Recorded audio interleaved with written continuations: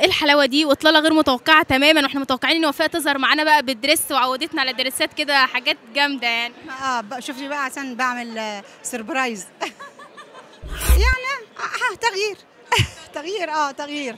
ما شاء الله بقى خسيتي ويعني كل مرة بنتقابل بيبقى في فرق جامد عن المرة اللي شفتي بقى؟ آه ما هو لسه على فكرة آه.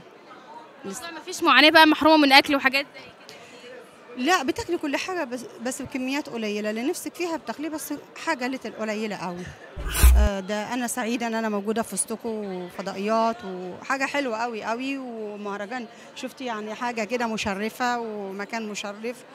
وكل سنة وأنتم طيبين ويوم جميل آه، مولد النبي عليه الصلاة والسلام مولد النبي الشريف عليه الصلاة والسلام يعني حاجات كلها بتبشر بالخير يعني.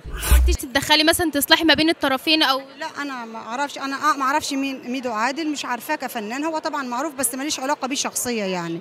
لكن أعرف لقاء بس آه، هم عارفين يعني ما أعرفش الحقيقة فين ما أقدرش أكلم. تكوني بعيده عن الموضوع. لا, لا أنا ما أعرفوش ما أعرفش الحقيقة يعني أنا ما أعرفش الموضوع. فين أساسه يعني؟ مين فين إزاي ليه كده يعني؟